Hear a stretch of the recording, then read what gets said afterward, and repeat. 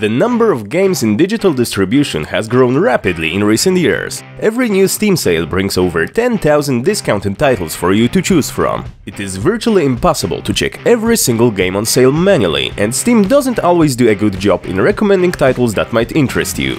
GG Deals provides multiple resources to allow you to distinguish good deals from merely average ones. First is deal rating, our special algorithm that describes how good the deal is. Every deal is marked from 0 to 10 based on relation to historical price and how popular the game itself is. The rating does a good job exposing hidden gems you wouldn't be able to find otherwise.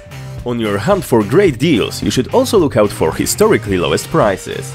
If a game has never been cheaper before, you will notice that its price is highlighted with green. The real star of the show, however, is our extremely complex filtering system. GG Deals allows you to narrow your search criteria by parameters such as price, discount, deal rating and game popularity, time and release date, Metacritic and Steam reviews, store, DRM, genre, Steam user tag, type and feature. Under Advanced Filters, you can hide already owned games or display only the titles from your GG Deals wishlist. Using the option one deal per game will remove any duplicates in the table below, providing you with currently lowest prices. If you are after historical prices, you will find such option on the bottom of Price Filter.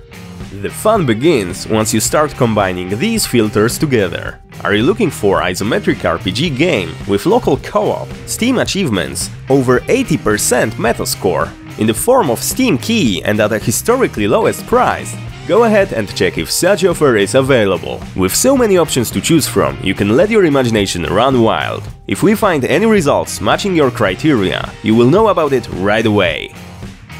Once you register at GG Deals, you will get an option of saving your filters for the future. To do that, simply use the Save Preset button located on the right side of the main menu.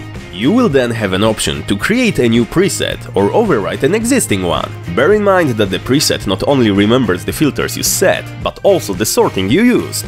You can alternate between global presets and your own presets using a small switch located on the left side of the menu. Thank you for watching this video. We hope you enjoy playing with filters and creating your own presets. Remember to leave your feedback in the comments section below or on GG Deals community page.